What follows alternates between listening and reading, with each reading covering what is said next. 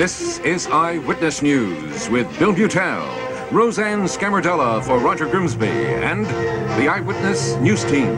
Africa loses a veteran leader. The latest on the new war in Vietnam, Evelyn Kanter counts the calories in light beers, and Joel Siegel has an exclusive talk with Bruce Springsteen. He's back in New York and he's had a sellout concert, all coming up.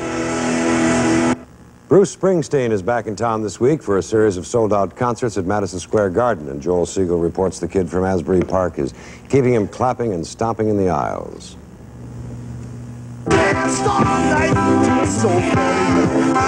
So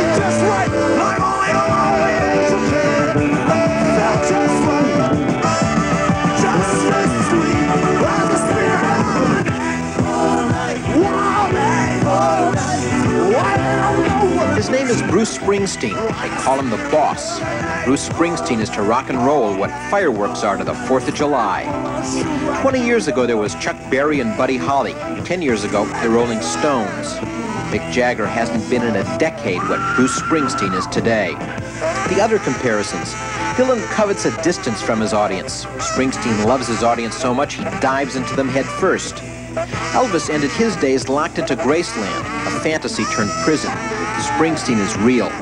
He doesn't try to be anything other than what he is. A kid of factory parents from Freehold, New Jersey, brought up in those blocks between the Trotters and the drag strip in Englishtown. At 18, he ran away to Asbury Park, playing at beer bars and on the boardwalk. Rock and roll was his language and his escape. Ooh, boy, the stars strew light, all brilliant day, dancing in the moonlight. We were down near the water. And my mother, she's 18, she worked every day. And my father, you know, he had a lot of different jobs. He worked. There was a, there was a, a general general consciousness. One of was one of survival. And you don't get outside that consciousness. You, like there wasn't a lot of books. There wasn't a lot. Of, there wasn't any music until I bought like you know my you know records. It was more down to like you know get the money, bring it home, put it on the table. You know, because I got in a cab with a guy in Texas. You know. And he said, you know, I go to some concerts and I feel good the whole next day, you know. And I go to yours and uh, I feel good for a week. And then some kids come up and say, you know, oh, I heard Born to Run, I heard Darkness on the Edge of Town. Uh, it made me do this or, or it made me do that. You can change people's lives and people's directions in, in, in some ways.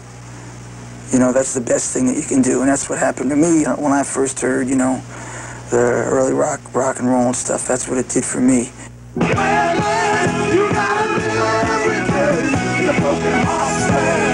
Stands. Cause you gotta live. Because it's understood. Bad man starts reading the spirit.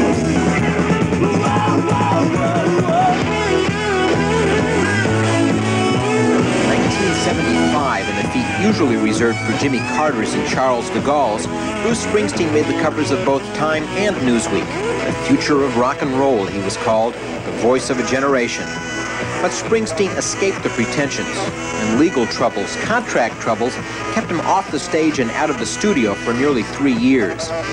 Last night at the Garden, though, the promise came to be. It was, he told me, the most important night of my life.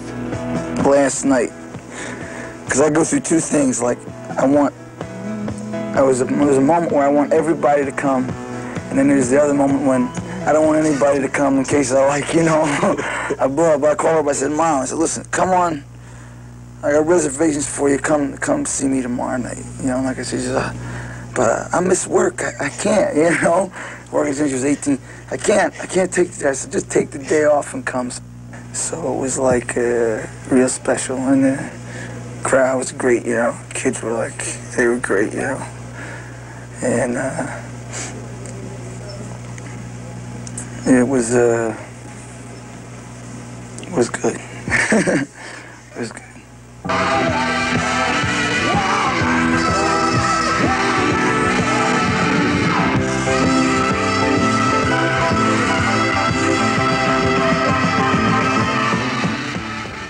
Bruce Springsteen was on stage for an incredible three hours last night. He's at the Garden tonight and tomorrow, all sold out. Scalpers were getting 50 bucks a seat last night, but there are a few hundred seats in New Haven Friday. And Springsteen will be back in town next month. I have no more details, just the promise he will be back, and he's worth waiting for. I have heard just about everybody, but I've never heard anybody make rock and roll music like Bruce Springsteen. Rose Ann. Thank you, Joe. The ABC World News Tonight is next. I'm Bill Beutel, Larry Kane and the Eyewitness News team back at 11 tonight. Thank you very much and good luck.